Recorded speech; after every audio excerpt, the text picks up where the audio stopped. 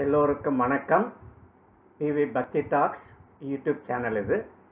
உங்களுக்கு பிடிச்சிருந்தா சப்ஸ்கிரைப் பண்ணுங்கள் நேற்றைய பகுதி அதாவது ஐநூற்றி இருபத்தி எட்டாவது பகுதி அதில் வந்து ஸ்ரீமத் பகவத்கீதையில் இருக்கக்கூடிய ஒரு முக்கியமான பதம் அல்லது சொல் ஸ்வதர்மம் அப்படின்னு அதை பற்றி பேசணும் ஸ்ரீ கிருஷ்ணர் என்ன சொல்கிறாருன்னா உபதேசத்தில் இந்த சுதர்மம் என்பது மனிதனுக்கு தரப்பட்ட சுதந்திரம்.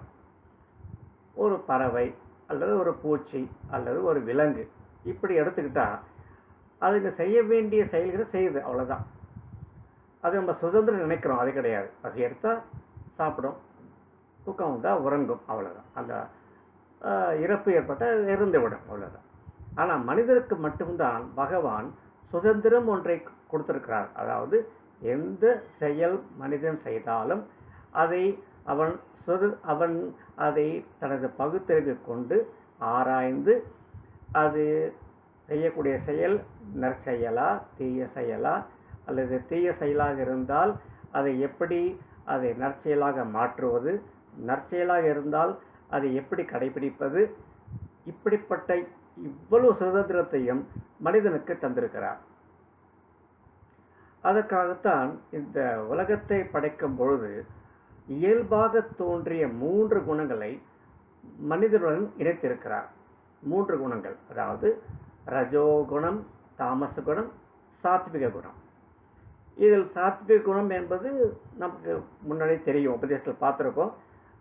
எது சத்வமாக இருக்கிறதோ எது நன்மையாக இருக்கிறதோ எது மேன்மையாக இருக்கிறதோ எது தூய்மையாக இருக்கிறதோ அது சத்வகுணம் ரஜோகுணம்ங்கிறது புகழ் செல்வாக்கு திமிர் கர்வம் இதெல்லாம் கலந்து இருக்கிறதா ரஜோகுணம். சோம்பல் அல்லது அஞ்ஞானம் அறிவின்மை இவையெல்லாம் தாமச குணம். ஆக எந்த ஒரு கர்மத்தை எந்த ஒரு செயலை மனிதன் செய்தாலும் இந்த மூன்று குணங்களால் பிணைக்கப்படுகிறான். அதில் அவன் டிக் தி கரெக்ட் ஆன்சர் அப்படி சொல்லுவோம். மல்டிபிள் சாய்ஸ் சொல்கிறோம்ல A B C tick the correct answer அது மாதிரி ஒவ்வொரு செயல் செய்யும்போதும் மனிதன் இந்த மூன்று குணங்களில் இருக்கக்கூடிய அந்த தத்துவத்தை அறிந்து அதை சிறப்பாக செய்ய வேண்டும். ஒரு மனிதன் நடந்து போகிறான் யாரோ முன்னாடி ஒரு சென்றவன் வாழைப்பழம் சாப்பிட்டுட்டு அந்த தோலை கவனக்குறைவாக கீழே போட்டு போயிடுறான். இந்த பின்னாடி வந்து பார்க்குறான். பார்த்துட்டு இப்படி கவனக்குறைவாக போட்டு போயிருக்காங்களே. ஏதோ யாராவது வயசானவங்க வந்தால் இல்லை இருட்டில் யாராவது கவனிக்காமல் இருந்தால் அதனால் சர்க்கிள் ஏற்படலாம் இல்லையா அப்படின்ட்டு அவனுடைய கால் செருப்பால் அந்த வாழைப்பழத்தோலை ஓரமாக தள்ளி விட்டுறான். இது சாத்விக குணம். இன்னொரு மனுஷன் அந்த அந்த வாழைத்தோலை பார்த்துட்டு அவன் எப்படி பிஹேவ் பண்ணுவான்னா இந்த வாழைப்பழம் சாப்பிட்டாங்க அவனுக்கு கொஞ்சமாவது அறிவு இருக்கா? இந்த சமூகத்தை பற்றி அவனுக்கு க- அக்கறையே இல்லை. யாராவது சரிக்க விழுதா என்ன ஆகும் இதை நான் பார்த்தேன் சரி. இதை வேற யாராவது பார்க்காம பார்த்து போயிருந்தா சும்மா போயிருந்தா எவ்வளவு பாதிப்பு ஏற்பட்டிருக்கும் நம்ம சமூகத்திற்கு அப்படின்ட்டு கர்வமா புகழா அவன் வந்து ஒரு கவன கொண்டு வருவான். அப்போ நாலு பேர் வருவாங்க. என்னங்க என்ன? பாருங்க ஒரு வாழைப்பழத்தை சாப்பிட்டு தோலை எப்படி போட்டு போயிருக்கிறான்? கொஞ்சம் கூட பொறுப்பில்லாத சமூகமாக இருக்கு அப்படின்ட்டு சொல்லுவான். இவன் ரஜகுணம் படைத்தவன். அதுக்கப்புறம் அவன் அந்த வாழைப்பழத்தோலை அவனுடைய கால் செருப்பால் ஓரமாக ஒதுக்குவானா இல்லை என்பது இல்லையா என்பது அது வேறு ஒரு கதை. தாமச குணம் இருக்க என்ன பண்ணுவான்? அந்த மனுஷன் வர்றான்னாக்கா பார்ப்பான் அதை பற்றி எந்த ஒரு அக்கறையும் இருக்காது. அந்த ஒரு வாழைப்பழத்தோ இருப்பதை பற்றியே அவன் அவனோட கவனத்திற்கு வராமலே போய் விடுவான். இதுதான் இந்த தாமச குணம் படைத்தான். ஆக ஒரே செயல் மூன்று விதமாக செய்யக்கூடிய பக்குவத்தை பகவான் நமக்கு தந்திருக்கிறார். ஆனால் இவற்றில் நமக்கு சுதந்திரம் தந்திருக்கிறார் எது சிறப்பானது எது மேன்மையானது எது செய்தால் மக்களுக்கு அது சேவையாக போய் சேரும்.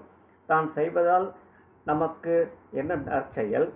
இதனால் பாவம் ஏற்படுமா புண்ணியம் ஏற்படுமா என்று பகுத்தறிவோடு பகிர்ந்து ஆராய்ந்து செய்தால் செய்யக்கூடிய ஒவ்வொரு செயலும் எந்த ஒரு செயல் செய்தாலும் அதை நினைத்து கொண்டு இவ்வாறு செய்ய வேண்டும் இவ்வாறு செய்யக்கூடாது. இது மனிதனை பாதிக்கும் இது மக்களை பாதிக்கும் இது சமூகத்தை பாதிக்கும் என்று நினைத்து அதை செய்யாமல் எது நன்மையோ அதை செய்து கொண்டே இருந்தால் அப்படிப்பட்டவனே சாத்விக குணத்தில் சிறந்து மேன்மை அடைந்து அவனுக்கு நல் வழி கிடைக்கிறது. அந்த நல் வழி கிடைக்கும்போது அவனால் பகவானை உணர முடிகிறது.